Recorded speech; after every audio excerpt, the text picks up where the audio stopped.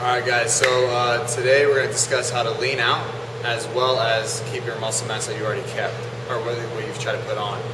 So first thing in the morning, you want to stack up with 7 Keto, DHEA, and AtroPhex. These three things together will help uh, fight your craving for hunger and everything else, uh, increase your hormones so you'll be able to keep that size that you've got.